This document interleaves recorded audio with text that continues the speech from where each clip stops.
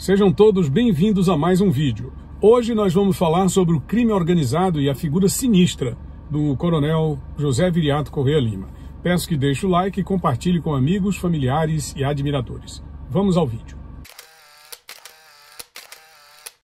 Durante duas décadas, o crime organizado assombrou a coletividade piauiense, principalmente empresários e políticos. Houve chantagem, extorsão, sequestros e assassinatos. Num período de 10 anos, nove prefeitos e ex-prefeitos foram mortos pelo esquema. O também chamado Sindicato do Crime era comandado no Piauí pelo tenente-coronel José Viriato Correia Lima. Seus capangas mais conhecidos eram Domingos Dias de Souza, o Domingão, João Evangelista de Menezes, o Pezão, Francisco Moreira do Nascimento. Todos policiais. Juntos, eles protagonizaram episódios os mais terríveis que se possa imaginar. Um dos primeiros homicídios praticados pelo grupo foi contra o policial civil Leandro Safanelli. O crime aconteceu em Parnaíba. Safanelli foi caçado pelas ruas da cidade e executado diante das vistas de toda a gente. Morto em seguida, o policial Arias Filho, que no inquérito apontou a autoria de Correia Lima e seu bando. Ele foi morto pelas costas pelo PM Francisco Moreira num bar, a 100 metros da Secretaria de Segurança.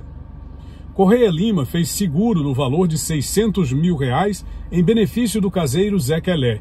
Poucos dias depois, o homem foi morto a facadas. Foram condenados pelo crime Domingão e os soldados José Correia Braga, irmão do coronel, e Moreira. Em 1991, o bando foi acusado pela morte do ex-prefeito de Redenção do Gurgueia, Joaquim Fonseca dos Santos.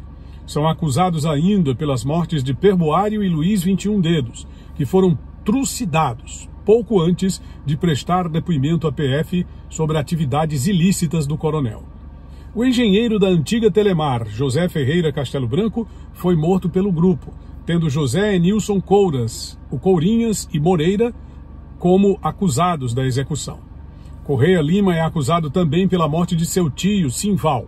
Ele fez um seguro de vida em nome do tio e dias depois o teria afogado no açude em Jucás, no Ceará. Responde ainda pelos assassinatos do cabo PM Honório Rodrigues e Claudemir Antônio França, o Mauro Gaúcho, que foi morto e incinerado numa chácara na zona rural de Redenção do Gurgueia. O promotor de justiça Afonso Gil Castelo Branco falecido em 2004, disse que Correia Lima tinha um pé em praticamente todos os poderes.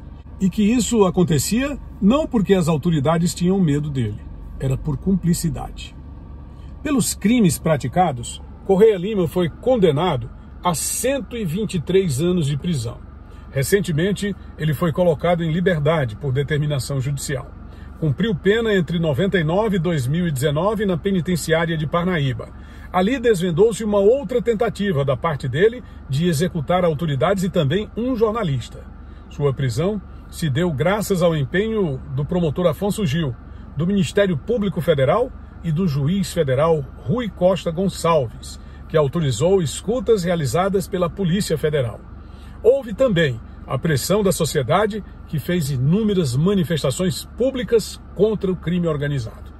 O governador Mão Santa, na época, deu o pontapé inicial ao decretar inicialmente sua prisão administrativa. Vários prefeitos foram presos e condenados por cumplicidade com o chefão do sindicato do crime. Correia Lima reclama que muitos se utilizaram do seu nome para fazer carreira política.